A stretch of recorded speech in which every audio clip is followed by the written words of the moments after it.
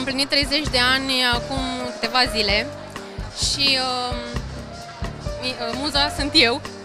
Așa arată femeia la 30 de ani. Giulia, cum ți s-a părut colecția Alexandru? Foarte frumoasă.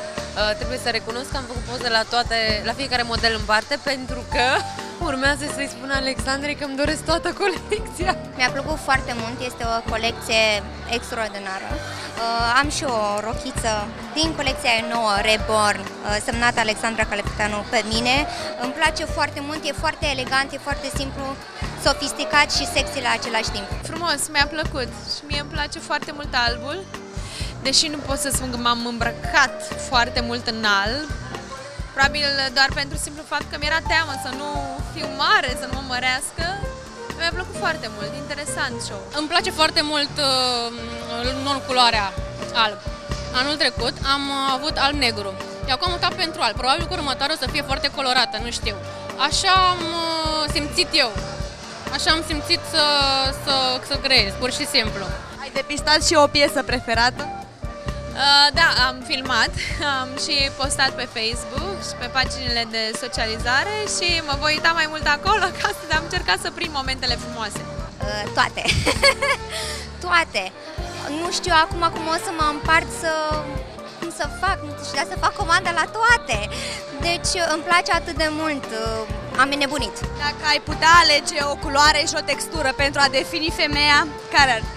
Sunt berbec și îmi place roșul foarte tare, senzualitate, romantism, roșu. Și textura, în ciuda colecției, mătasea.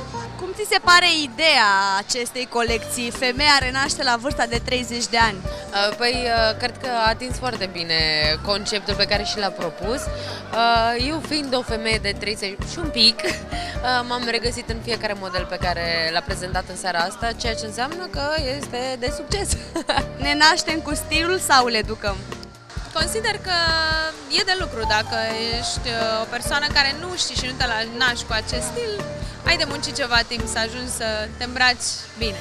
Le educăm. Dar un pic de simț uh, estetic uh, există acolo de la început. M-am simțit foarte bine la evenimentul meu.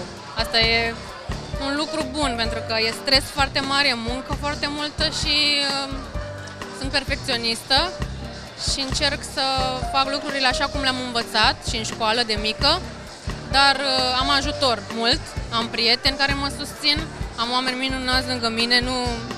Ați văzut ce a fost în seara asta? M-am emoționat foarte tare și sper ca în uh, șase luni să ies cu o nouă colecție.